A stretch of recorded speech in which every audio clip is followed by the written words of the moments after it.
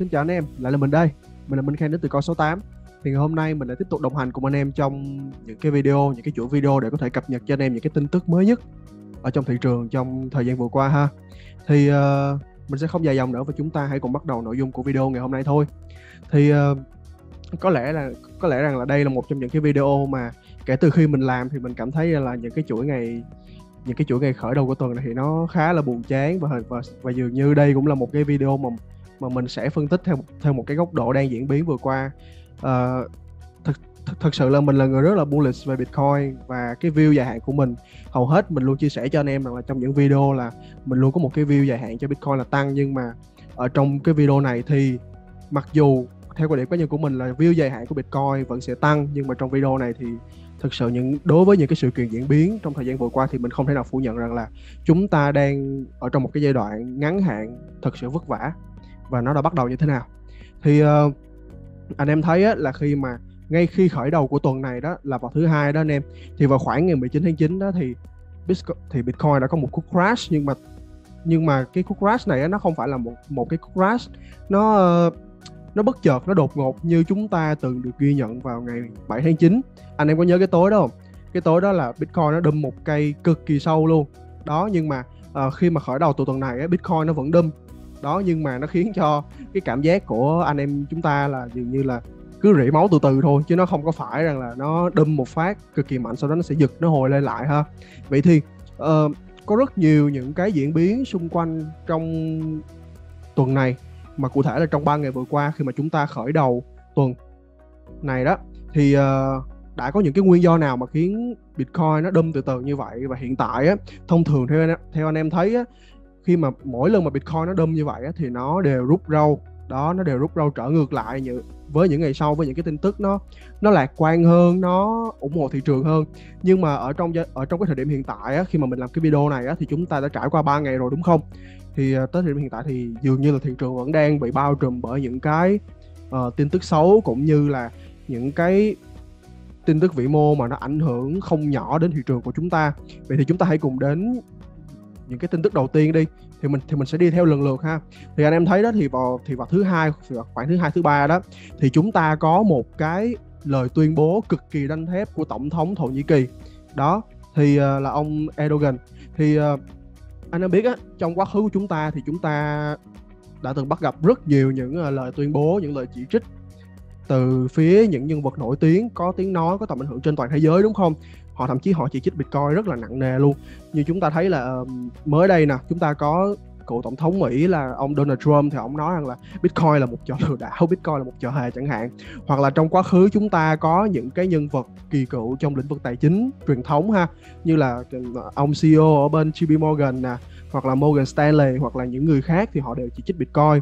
Nhưng mà đối với mình đứng trên cái quan điểm cá nhân thì mình thấy rằng là cái lời tuyên bố trực tiếp này của tổng thống thổ nhĩ kỳ đó là ông er-, là ông Erdogan thì nó cực kỳ nặng anh em. Tại vì sao? Tại vì á, tổng thống thổ nhĩ kỳ là ông Erdogan này, ổng ổng là một nguyên thủ quốc gia và ổng đang đương nhiệm vị trí tổng thống của thổ nhĩ kỳ ha. Tức là ổng đang làm. Ổng không có phải đứng ở một cái vị trí như là, như ông Donald Trump là ông đã không còn là tổng thống nữa rồi. Thì ông có thể tuyên bố gì thì cái điều đó nó sẽ không có gây ảnh hưởng nhiều anh em. Nhưng mà đối với ông này á ổng đang là nguyên thủ quốc gia của một nước và ổng đang đảm nhiệm cái vị trí đó ha. Tức là ông đang tại vị đó. Thì ông lại đưa ra một cái lời tuyên bố và nó đánh thẳng luôn.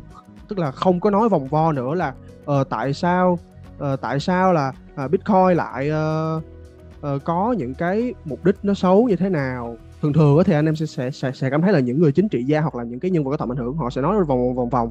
Nhưng ông này nói thẳng luôn là chúng tôi không không thích Bitcoin và chúng tôi sẽ sẵn sàng tuyên bố chiến tranh để chống lại Bitcoin. Thì cái điều này nó đã gây ra một cái sự ảnh hưởng rất là lớn đối với những cộng đồng đầu tư tiền mã hóa nói chung ha. Và đối với người dân Thổ Nhĩ Kỳ nói riêng, tại vì anh em biết rằng á, thì Thổ Nhĩ Kỳ á, họ đã cấm Bitcoin và họ đã ngăn cản những cái hình thức để mà dân chúng tiếp cận với Bitcoin ở trong quốc gia rồi. Nhưng mà trước đây á, vào khoảng tháng tư trở lại đây đó anh em, thì dân chúng tại Thổ Nhĩ Kỳ đó, họ vẫn tiếp tục đẩy mạnh cái làn sóng là họ uh, truy, họ truy vết họ tìm kiếm những cái cách thức để mà họ tiếp cận Bitcoin tại vì càng cấm càng làm mà. Nhưng mà vào thời điểm đó anh em nên nhớ rằng là đó chỉ là những cơ quan chức năng chính phủ thôi chứ tổng thống Erdogan ông chưa hề nói một cái gì cả. Nhưng mà đến vào tuần này đầu tuần này thì tổng thống Erdogan đã trực tiếp nói luôn. Đó ông nói là tôi chiến tranh với bitcoin và ông đã sa thải đây ở đây thì ờ, ở, ở bên coin 68 ở bên ban biên tập bọn mình cũng đã đưa những cái anh đưa những cái thông tin hữu ích đến cho anh em hàng ngày, cập nhật hàng ngày luôn. Thì ông đã sa thải những cái chủ tịch ngân hàng trung ương nè, và ông làm những cái hành động rất là mạnh mẽ để có thể củng cố cái lập luận quan điểm này của mình. Thì đây là một cái thông tin đầu tiên mà mình muốn chia sẻ đến cho anh em ha. Tại vì á, anh em thấy là trên toàn thế giới bây giờ chúng ta có El Salvador, chúng ta có Ukraine, chúng ta có Panama, chúng ta có rất nhiều quốc gia đang ủng hộ. Nhưng mà đối với riêng Thổ Nhĩ Kỳ, ông ông là một nguyên thủ đứng đầu của quốc gia, ông đứng ra ông nói luôn. Thì chúng ta sẽ, thì cái lời nói của ông nó sẽ có trọng lượng rất là nặng đối với quốc gia Thổ Nhĩ Kỳ nói riêng và đối với những cái quốc gia đang tham gia vào cái công cuộc để mà có thể tiếp cận tiền mã hóa cũng như là Bitcoin ha anh em. Thì á, đây là cái thông tin đầu tiên ha. Và cái thông tin thứ hai mình muốn gửi đến cho anh em chính là cái thông tin vào ngày thứ hai đó, vào ngày thứ hai đầu tuần này, thì chúng ta có một cái thông tin. Nó cũng, mình nghĩ rằng là theo cái theo cái quan điểm phân tích cá nhân của mình, nó cũng ảnh hưởng rất là lớn đối với những cộng đồng nhà đầu tư đơn lẻ ha tức là ở đây á, thì mình đang sử dụng dữ liệu của blockchain.com thì ở trên cái trang này á, thì anh em thấy á, cái địa chỉ ví này nè đó mình sẽ bật tới trang 5 để cho anh em thấy ha thì á, cái địa chỉ ví này là vào ngày 10 tháng 12 năm 2012 thì cái địa chỉ ví này đã tiếp nhận 616 Bitcoin đúng không? Và trong suốt quá trình đó thì cái địa chỉ ví này á nó chỉ toàn là nhận Bitcoin mà thôi. Đây là trang 5 nha anh em. Và mình sẽ mở tới trang thứ tư. Đó. Nó chỉ tiếp nhận toàn Bitcoin mà thôi chứ nó không hề di chuyển, nó không hề có những cái động thái mà nó nó di chuyển đến nơi khác, nó bán ra gì cả, nó chỉ có nhận thêm vào. Đó. Đây, trang thứ ba chúng ta tiếp đến với trang thứ hai nha đây và tiếp đến trang thứ nhất đó trang thứ nhất thì á, anh em thì vào ngày 19 tháng 9 thì đột nhiên cái ví này nó lại chuyển cái số bitcoin này đến một cái địa chỉ khác. Thì nếu như anh em đang tham gia cái lĩnh vực đầu tư tiền mã hóa trên một cái thị trường như thế này đúng không? Đột nhiên một ngày nào đó có một cái ví cá mập nó đã nằm yên cỡ khoảng là 8, 9 năm, 10 năm rồi.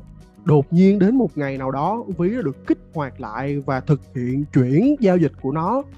Mà chuyển cái này là nó chuyển hết nha anh em nó chuyển hết cái số bitcoin nó đang nắm giữ đó. Chuyển hết số bitcoin đi thì anh em sẽ nghĩ gì? Đúng không? Chúng ta sẽ có những trường hợp như sau. Ok, đồng ý, bây giờ ông cá mập này ông sẽ không có giữ, ông ông sẽ không có sử dụng cái ví cũ nữa mà ông sẽ chuyển sang cái ví khác. Đó là trường hợp thứ nhất. Và trường hợp thứ hai thì mình chắc chắn rằng là hết 99% trong 100% anh em đang xem video sẽ nghĩ những cái điều giống như mình. Tức là sao? Tức là cầm tất cả số bitcoin này đem lên sàn mà xả mà thôi. Đúng không? Thì á, cái tâm lý, cái tâm lý của hầu hết cái cộng đồng nhà đầu tư họ nhìn vào cái thông tin này á, thì họ sẽ nghĩ rằng, ôi trời ơi bây giờ ông này, ông đã nắm giữ như vậy rồi, cả hàng chục năm như vậy rồi, tự nhiên bây giờ ông kích hoạt lại thì chỉ có xả mà thôi. Và khi một ví nó xả như vậy á, thì sẽ, cái hiệu ứng domino của của của các nhà đầu tư nhỏ lẻ sẽ cực kỳ lo sợ. Nhất là khi chúng ta vừa trải qua ngày 7 tháng 9 và Bitcoin vẫn chưa hoàn toàn có một có một cái xu hướng phục hồi hẳn, mà nó chỉ giật, nó đi lên và nó đi ngang thôi. Đó thì cái điều này nó sẽ gây ra một cái hiệu ứng domino rất là lớn, anh em. Tức là cái cộng đồng nhà đầu tư họ cứ xả xả xả nhà đầu tư nhỏ lẻ nha, chứ mình sẽ không nói cá. Vì cái vấn đề mà cá có tham gia vào cái này không thì mình sẽ không biết. Và mình chỉ đang phân tích là cái phương, cái thông tin này nó ảnh hưởng như thế nào đó. Thì nó cứ xả xả xả dần xả xả xả dần lại. Thì nó sẽ khiến cho giá của bitcoin cứ liên tục liên tục rỉ máu rỉ máu rỉ máu và đâm mà thôi. Đó. Thì á, cái cái điều này mình cũng muốn chia sẻ thêm một cái thông tin mà do chính bản thân mình trải nghiệm cho cái thị trường này đến cho anh em. Tức là thường ở những cái thông tin này á lâu lâu nó sẽ xuất hiện một lần. Nó sẽ xuất hiện là ở một ví cá mập nào đó đang chuyển số lượng bitcoin đi đâu đó đúng không? Hoặc là ví này đã ngủ đâu bao, bao nhiêu năm rồi sẽ chuyển số lượng bitcoin đi đâu đó thì nó sẽ có những trường hợp sau để cho anh em có thể uh, mình dễ dàng mình đưa ra những cái quan điểm những cái đánh giá những cái xem xét cá nhân của mình để mình thích ứng được với cái phản ứng đó là sao ha. Thứ nhất thì uh, cái cái cái điểm đầu tiên khi mà họ thực hiện những cái việc mà chuyển đổi ví đó họ kích hoạt lại như vậy thì để làm gì? Hoặc là họ đẩy lên sàn số lượng bitcoin để để làm gì? Thì à, cái điều đầu tiên thì mình nghĩ rằng là ai cũng biết rồi, đó chính là để xả mà thôi. Đó. Và cái việc thứ hai đó, chính là cái việc mà họ làm, họ giống như kiểu là họ à, họ họ đánh lừa các nhà đầu tư nhỏ lẻ. Tức là họ chuyển lên rồi họ để đó. Họ không có thực hiện gì cả. Nhưng mà cái tâm lý số đông á, sẽ nghĩ rằng là các cá đẩy lên để mà xả. Vì vậy, nên là các nhà đầu tư nhỏ lẻ họ sẽ xả xuống để mà tạo cơ hội cho các cá mập gom bitcoin với số lượng lớn hơn. Đó, có thể thâu gom bitcoin ở một cái mức giá tốt. Đó là trường hợp thứ hai. Và trường hợp thứ ba thì cái trường hợp này thì nó tinh xảo hơn một tí. Tức là, thông thường các nhà đầu tư như là nghĩ rằng họ đẩy Bitcoin lên để họ xả ra USDT đúng không? Nhưng mà cái trường hợp này, tức là khi họ đẩy lên, cũng chưa chắc rằng là những cá mập họ sẽ xả Bitcoin sang USDT nữa, mà họ sẽ dùng số lượng Bitcoin đó để họ quy đổi sang một cái altcoin nào đó để mà họ giữ. Và cùng với cái tâm lý rằng là uh, ai ai cũng nghĩ cá mập sẽ xả số lượng Bitcoin đó xuống ra USDT nên họ sẽ xả họ sẽ xả Bitcoin để cho giá của Bitcoin xuống một cái mức nào đó đúng không? Và đột nhiên anh em có thấy một cái trường hợp là khi giá Bitcoin vẫn giảm nhưng mà có một số anh coin lại tăng rất là mạnh. Đó thì vì vậy các cá mập sẽ sử dụng cái chiêu trò này để mà họ đẩy sang anh coin và khiến cho cái đồng altcoin nó tăng rất là mạnh và cộng đồng nhà đầu tư đang chứng kiến một cái thảm cảnh là ở Bitcoin giảm, tất cả đều giảm, nhưng tại sao cái đồng coin này tăng? Thì họ sẽ bay vào, họ FOMO cái đồng coin altcoin đó và đó cũng là cơ hội để cho cá mập xả altcoin đó và lấy tất cả những lợi dụng từ altcoin đó để gom lại Bitcoin ở cái mức giá tốt hơn. Đó, thì anh em thấy đó là cái chiêu thức để cá mập có được một cái số lợi nhuận kép như vậy, nó rất là hay.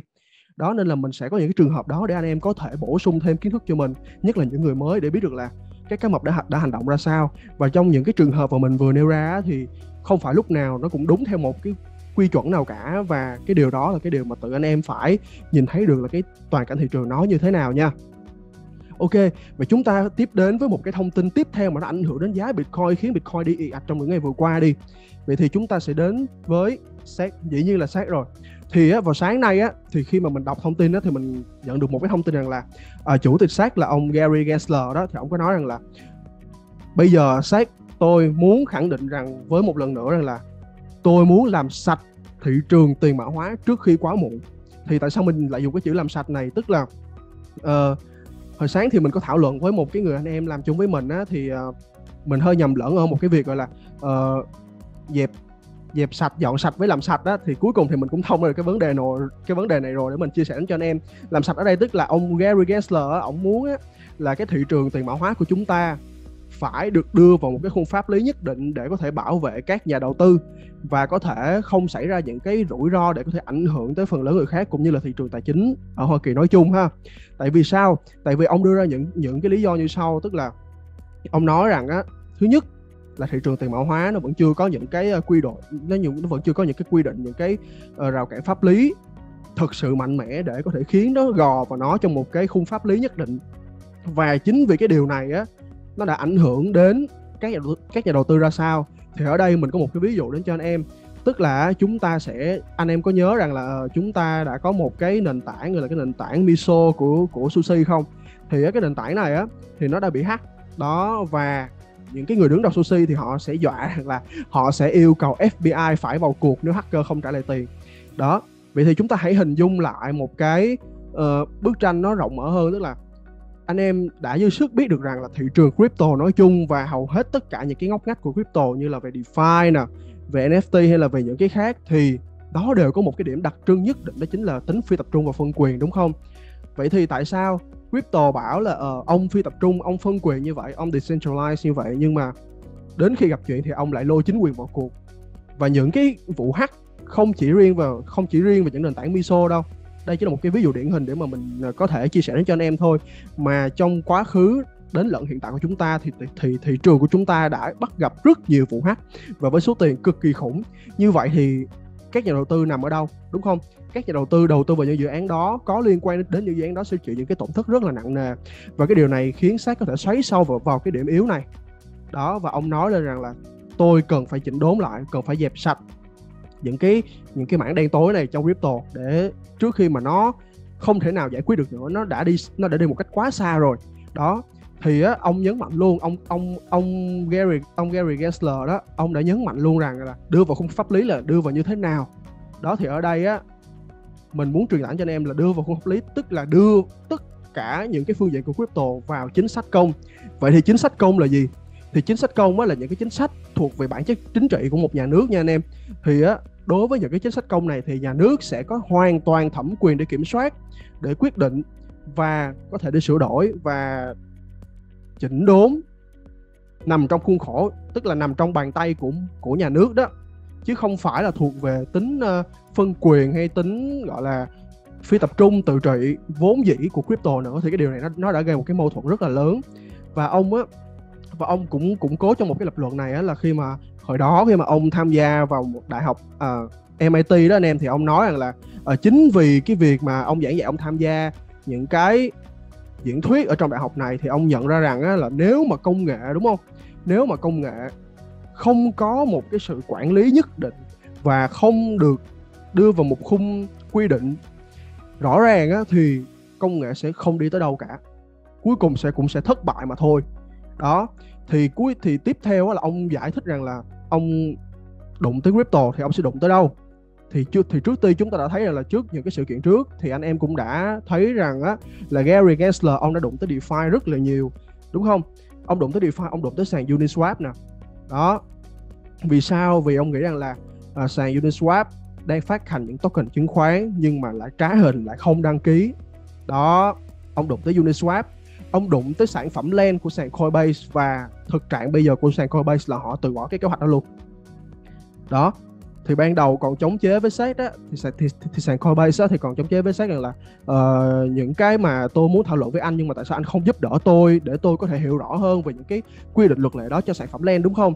Xét chỉ tuyên bố thẳng thừng một câu rằng là nếu anh tung ra chúng tôi sẽ kiện anh và chúng tôi sẽ giải quyết triệt để vấn đề này. Thì cuối cùng là sàn Coinbase cũng đã phải dẹp bỏ cái kế hoạch đó. Rồi xét động tới Uniswap rồi ngay cả chính Gensler trong những cái bài lần trước á, thì có một lần Gensler nói là tôi sẽ hoàn toàn làm triệt để về cái lĩnh vực DeFi này tại vì nó quá là nhiều lỗ hổng mà đi. Đó. Và cái điểm thứ ba là Gensler cũng đề cập trong cái buổi phỏng trong cái bài viết cũng như là trong cái buổi phỏng vấn mới đây của ông á. Đó chính là stablecoin. Thì ông nói rằng á, là stablecoin á, là nên được kết hợp dưới sự giám sát chặt chẽ của các ngân hàng nha anh em tại vì á, ông nói một ông nói một cái này mà, mà mình cảm thấy là nó cũng khá là nghiêm trọng đó nó cũng khá là nặng. Tức là ông bảo rằng là ông bảo rằng là stablecoin đó nó chẳng khác nào là những cái thẻ bài mà chúng ta chơi chúng ta mua bằng tiền thật ra cái thẻ đó và cái thẻ đó để chúng ta chơi poker vậy anh em. Anh, anh em có biết cái trò poker không? Những cái trò đánh bài mà ở, ở Las Vegas á thì chúng ta muốn chơi được những trò bài bạc đó thì chúng ta phải dùng tiền để chúng ta mua mua những cái thẻ đúng không? Và ông ví những cái thẻ đó như là stablecoin vậy. Và cái và cái cái cái hình ảnh mà ông ví như vậy thì chẳng khác nào thị trường crypto là một cái thị trường mà đánh bài đánh bạc.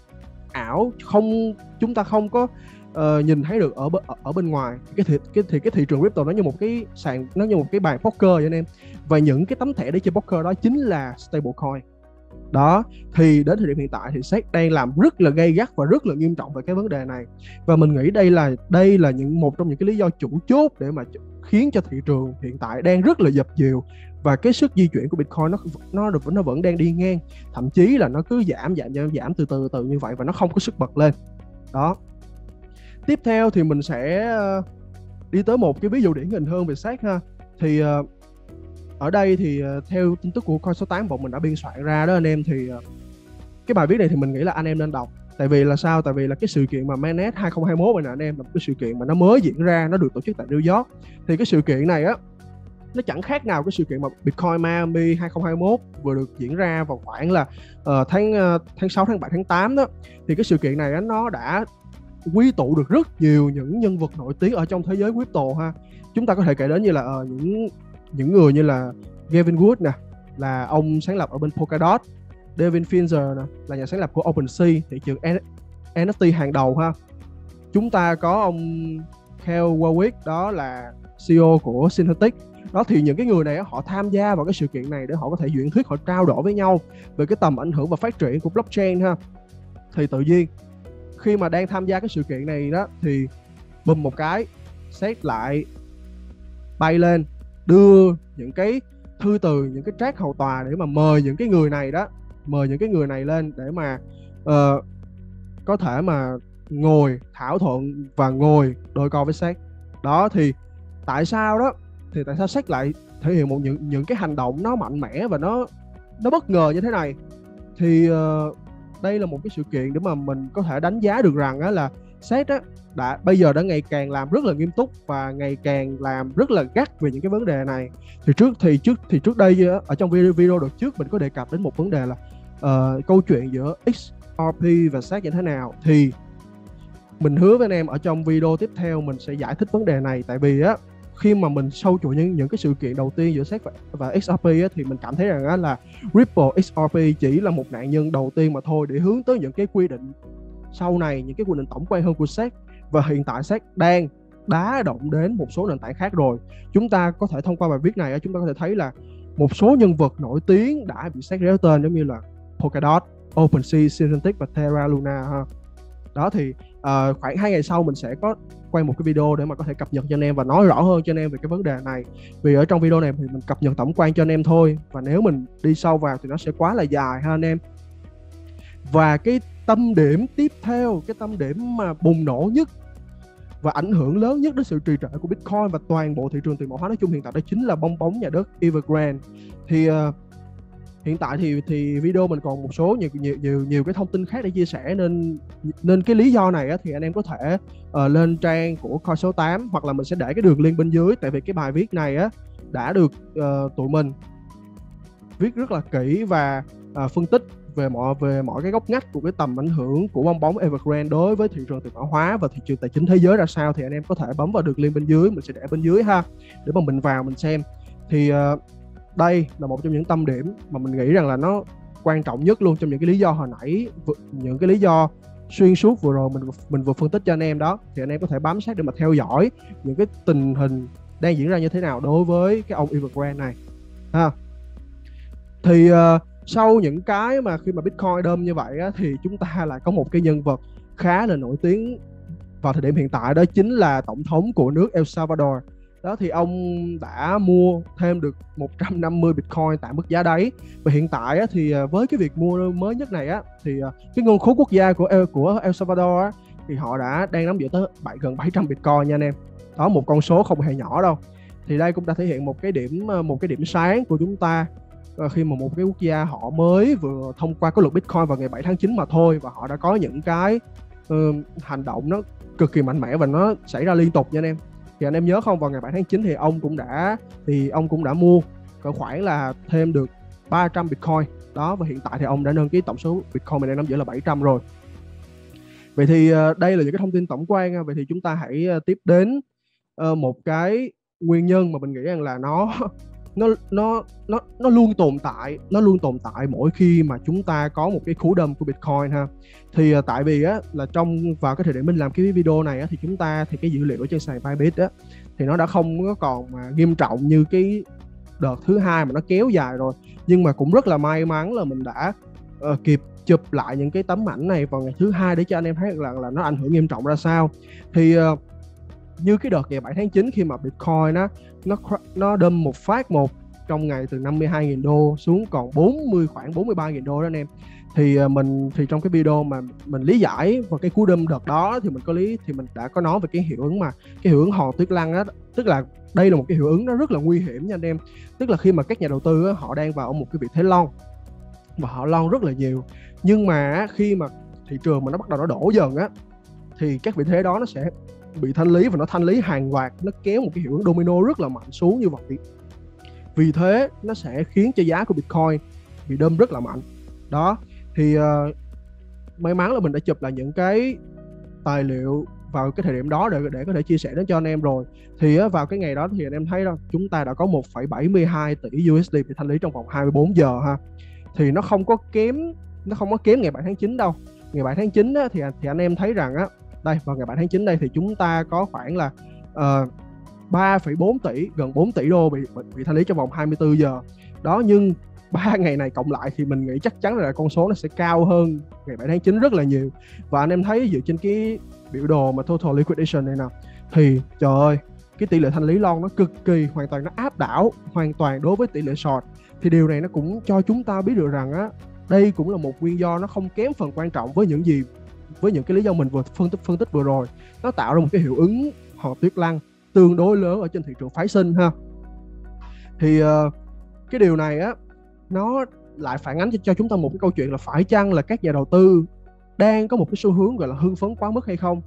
Đó khi mà chúng ta chỉ mới vừa trở lại vào tầm khoảng là nửa tháng 8 trở đi thôi Bitcoin được hồi phục một tí thôi nhưng mà các nhà đầu tư dường như có vẻ rằng là uh, kỳ vọng quá nhiều hoặc là uh, hưng phấn quá mức ở trên những cái thị trường future phái sinh margin đồ đó thì họ đánh rất là cao họ mở vị thế rất là nhiều.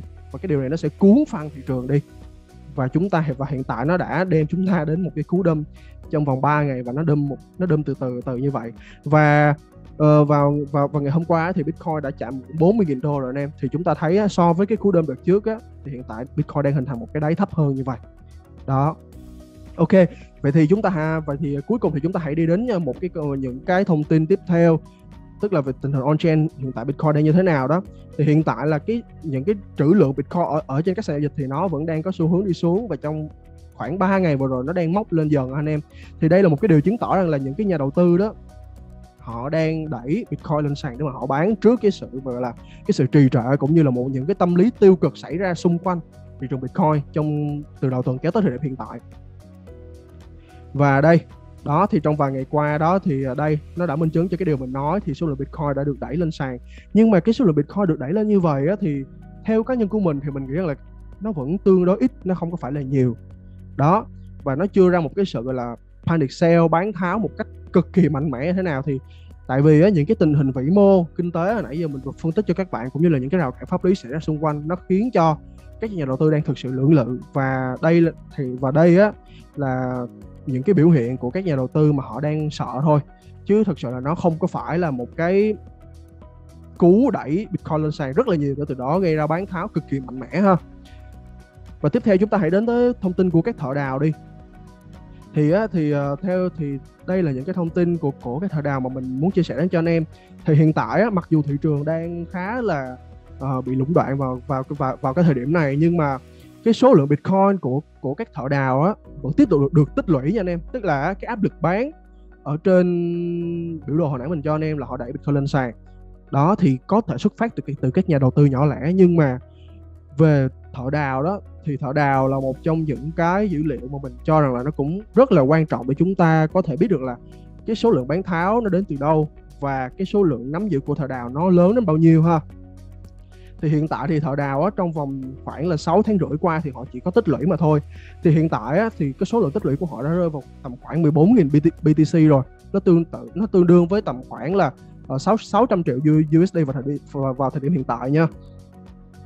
Và cái điều này nó cho chúng ta thấy được rằng á, là cái số lượng tích lũy của thợ đào á, là họ vẫn đang cố gắng tích lũy và họ không có muốn bán cái số lượng tích lũy của họ vào thời điểm hiện tại.